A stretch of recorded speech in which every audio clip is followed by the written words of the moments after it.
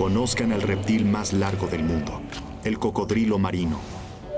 El territorio del norte australiano tiene el mayor número de concentración de cocodrilos marinos en el continente. No siempre fue así.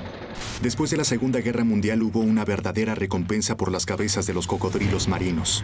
Con una caza totalmente irregular, redujeron la población de unos 100.000 individuos a tal vez unos 2 o 3.000. Así que estaban al borde de la extinción. En 1971, el gobierno australiano declaró que el cocodrilo marino era una especie protegida, y la especie aumentó.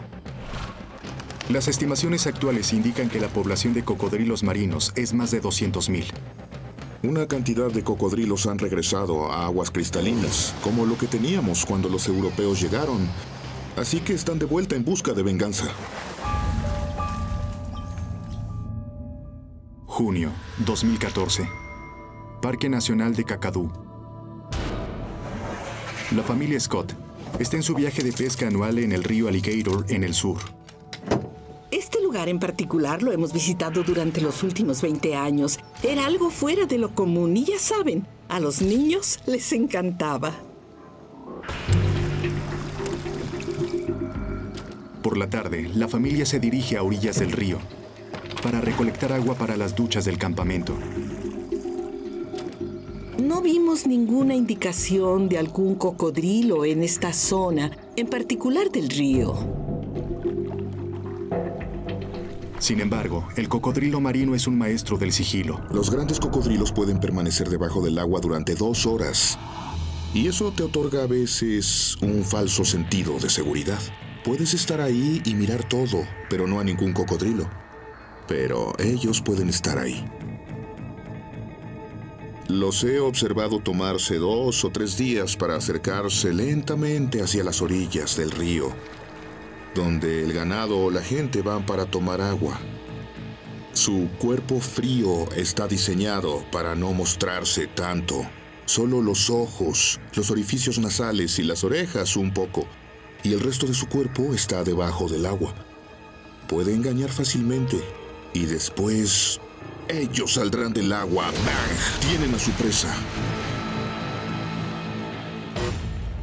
Los párpados transparentes le permiten ver claramente, incluso cuando está completamente sumergido.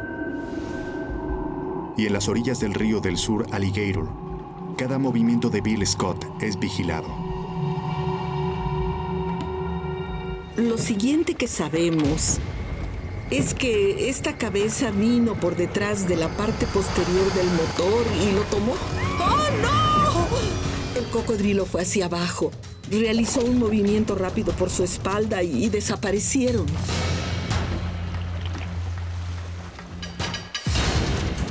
Me apresuré para ir dentro del agua y tratar de ayudar. No sabía qué hacer para poder ayudarle. Estaba parado ahí en el agua gritando, ¿qué hago? ¿Qué hago? Por supuesto no podía hacer nada. No salí a la superficie.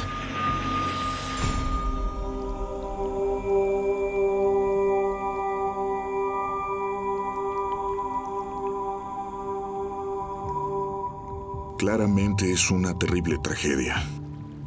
Tomar a Bill quien estaba parado al final del bote fue algo muy fácil para el cocodrilo. El bote de mi padre es de tres metros y medio con una punta de fondo en forma de B. El cocodrilo que atacó a Bill medía 4 metros de largo. El cocodrilo que lo llevó fuera del bote medía 4.6 metros. Sería hasta aquí. Este enorme carnívoro ha estado en la cima de la cadena alimenticia australiana por 100 millones de años. ¿La razón principal?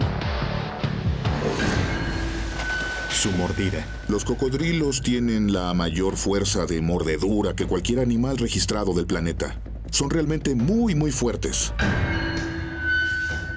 Para la víctima, todo ha terminado rápidamente. Lo primero que hace el cocodrilo es ahogar a la presa, llevarla bajo el agua, matarla y después aparecer en cualquier otro lado. Tomar un poco de aire y después decidir qué es lo que hará.